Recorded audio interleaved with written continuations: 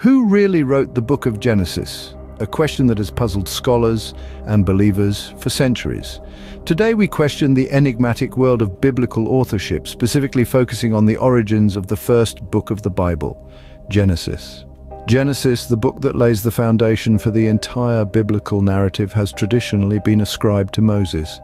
This belief is deeply ingrained in both Jewish and Christian traditions the man who led the Israelites out of Egypt, who wandered with them through the wilderness and who, according to these traditions, penned the laws and teachings that form the bedrock of these faiths.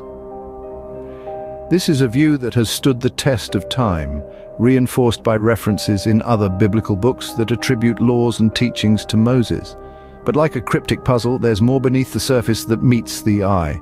The authorship of Genesis, is not just a matter of tradition, but a subject of intense scholarly debate. In the hallowed halls of academia, the name of Moses as the author has been questioned, dissected and studied under the microscope of modern biblical scholarship.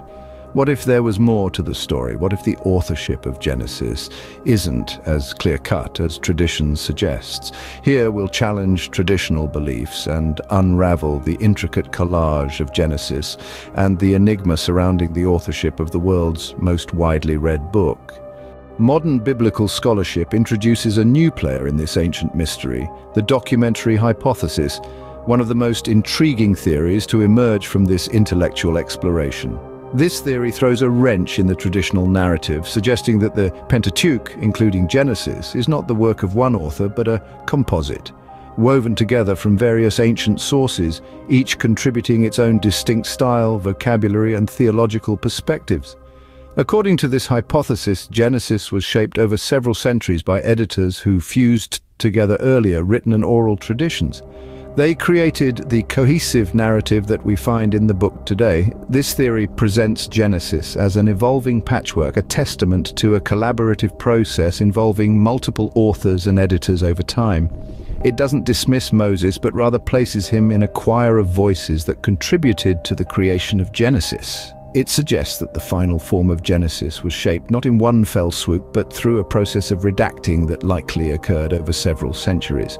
So, could Genesis be the result of a centuries-long editing process? If you've ever played a game of Chinese telephone, as it's known in some parts of the world, then you know where we're going with this. Could Christians have simply made up information about Moses being the author of Genesis? We have to consider the timeline. The book of Genesis chronologically concludes centuries before Moses was even born. This apparent inconsistency has stirred an intense debate among scholars and believers alike. Think about this.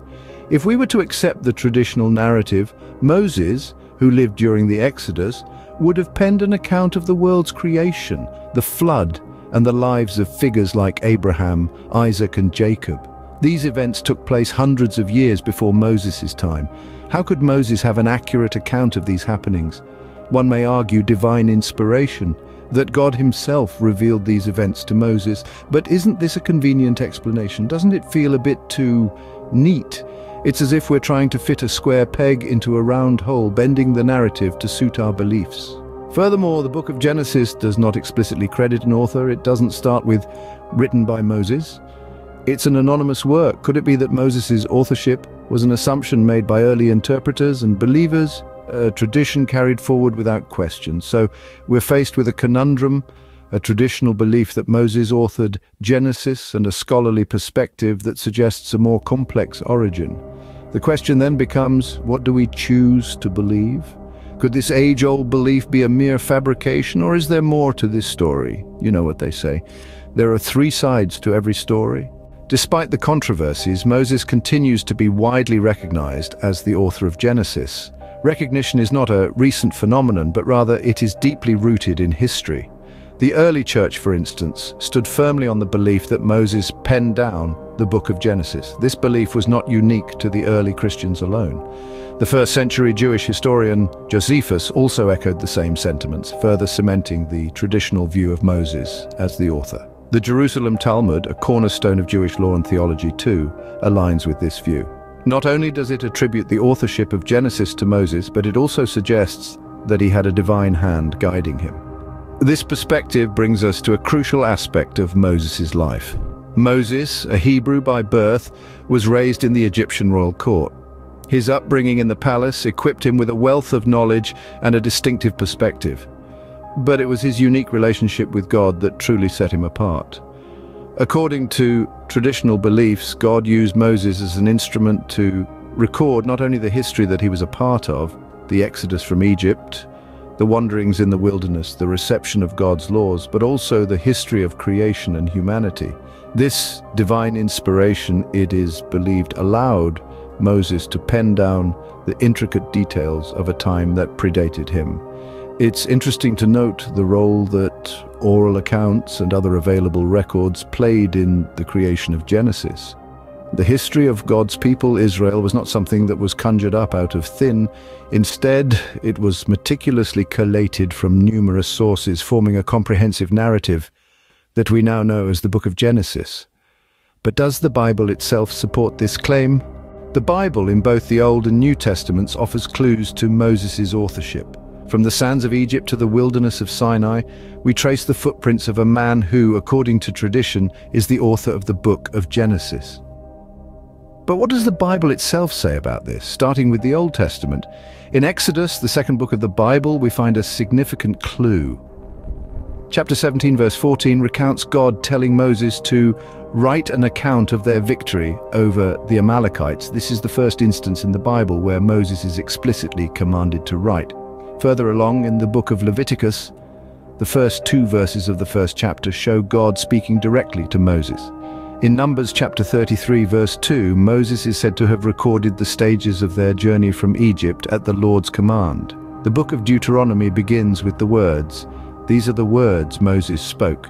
A clear indication that Moses was not just a leader but also a scribe, recording the events and laws of his time. The Old Testament isn't the only place where Moses' authorship is hinted at. The New Testament too offers indirect testimonies to Moses' authorship. For instance, in the Gospel of Matthew, chapter 8, verse 4, Jesus refers to the law of Moses, acknowledging his role as a lawgiver and, by extension, a writer. The Gospel of Mark, chapter 12, verse 26, references the book of Moses.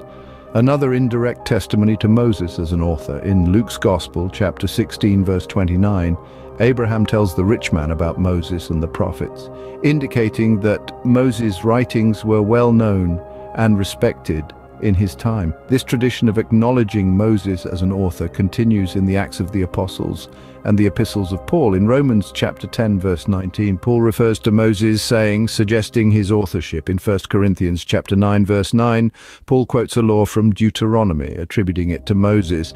However, while these passages provide evidence of Moses' authorship, they do not specifically attribute the book of Genesis to him. They establish Moses as a writer, yes, but not necessarily the writer of Genesis. So the mystery persists. Is Moses the true author of Genesis, or is it a product of multiple authors and editors? The debate continues, but one thing remains clear. The book of Genesis continues to intrigue and inspire, regardless of who penned its words.